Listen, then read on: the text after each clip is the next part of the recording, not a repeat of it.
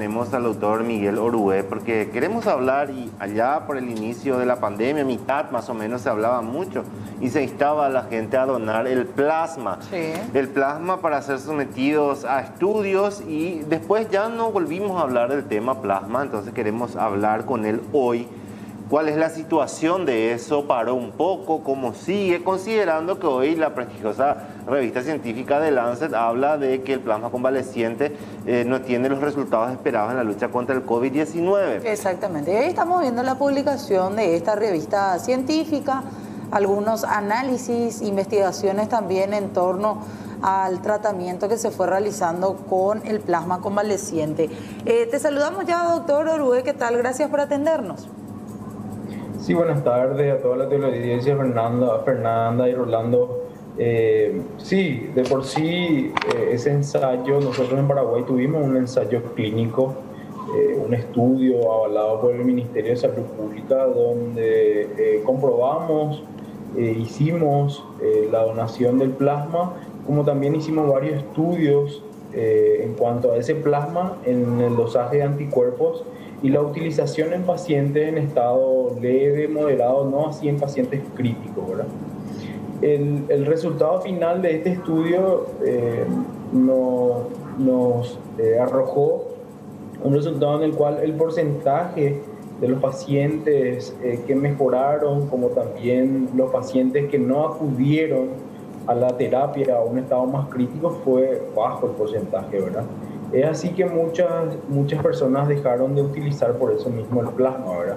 Ahora no podemos decir concretamente o estrictamente que no sirve, más que nada teniendo en cuenta que estamos ante una pandemia, ante un virus que de por sí no sabemos realmente cuál es el tratamiento exacto, cuál es la terapia correcta en utilizar. Es muy dinámico el tratamiento de este virus, ante esta pandemia entonces es muy difícil llegar a una conclusión de decir esto podés usar, esto poner, no podés usar, ¿verdad? Ahora, doctor, se pidió por un, tiempo, recuerdo que se pedía a todos los pacientes que dieron de alta un mes después que acudan a donar. ¿Eso se suspendió un poco o hoy sigue haciéndose? Eh, de por sí eso formó parte de la campaña eh, de, tener plasma para poder utilizar en ensayo clínico. Este fue un, programa desarrollado principalmente para que esas personas que eh, tuvieron COVID se acerquen a donar. De por sí seguimos aceptando esos tipos de donantes, pero el ensayo clínico así ha sido cerrado, o sea, ya no ninguno de estos plasmas o donantes entran dentro de este ensayo clínico y, bueno, eh, seguimos aceptando ese tipo de donantes, pero no en forma masiva como lo hacíamos antes, ¿verdad? Justamente porque la promoción, eh, eh, digamos que terminó un poco, ¿verdad? Ahora, doctor, ¿a cuántas personas se estuvo analizando durante ese estudio aquí en nuestro país? y de ese total de personas que recibió el plasma convaleciente, ¿cuántos tuvieron algunos beneficios, por así decir? Bueno, eh, este estudio, este ensayo clínico fue elaborado por un grupo de profesionales de la Universidad Nacional de Asunción. Eh, la doctora eh, Kika Zamudio es una de las emprendedoras de esto. Probablemente con ella es la que, lo que te puede brindar un poco más de datos específicos, hablando exactamente de porcentaje. De por sí, eh, te voy a dar mi experiencia, que es, eh, yo soy encargado del Banco de Sangre de Inerán. Nosotros tuvimos eh, aproximadamente 45 pacientes que utilizaron plasma COVID en ese hospital y de los cuales el, aproximadamente el 60% de esos pacientes no entraron en terapia. Em, cuando hacíamos ese ensayo clínico tenemos que tener, entender también que las terapias eran múltiples, no podemos llegar a una conclusión a decir que el, la ivermectina, la dexametasona, la, la citromicina, la colchicina, el plasma convaleciente, cuáles de esos factores fueron los que incidieron para que el paciente pueda mejorar. Y aproximadamente el 10% de esos pacientes que recibieron plasma sí eh, tuvieron desenlace fatal o ingresaron a la terapia, ¿verdad? Eso es en cuanto a mi experiencia. Teniendo un resultado global, probablemente eh, eh, se tendría que hablar con las personas indicadas en, el ensayo clínico, ¿verdad?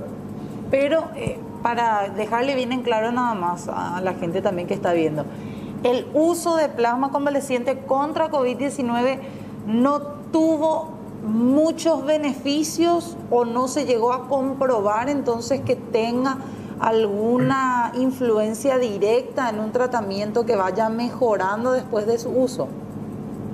Eh, no tuvimos el resultado que desearíamos eh, tener, ¿verdad? Esa es la realidad, ¿verdad? No podemos decir que no funciona porque probablemente sí funcionó en algunos pacientes, pero el porcentaje no fue tan alto como para que le podamos dar mucho rédito al tratamiento de plasma. Eh, puedo decir eh, ciegamente de que sí tuvimos éxito, pero con un porcentaje muy bajo. Entonces, por eso justamente eh, se dejó de usar en forma masiva. ¿Y hoy se sigue utilizando este tratamiento, doctor, o ya no se usa casi? Sí, eh, nosotros habilitamos un hospital día en el Hospital Central de IPS, donde hacemos esta terapia solamente que es un grupo un poco más cerrado en el sentido de que son personas que tienen factores de riesgo o factores que puedan eh, complicar su COVID.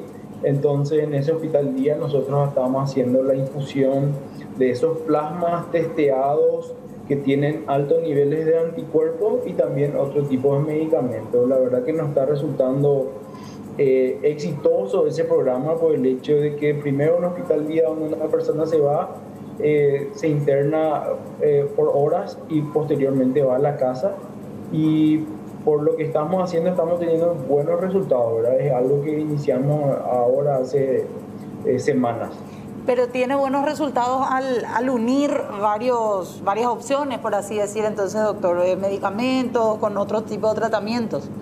Sí, exactamente. De, todas maneras, como empezamos recién eso en, ese hospital día, estamos evaluando, estamos haciendo el seguimiento de todos esos pacientes y evaluar en el transcurso del tiempo eh, cuál es el éxito que estamos teniendo con esos pacientes.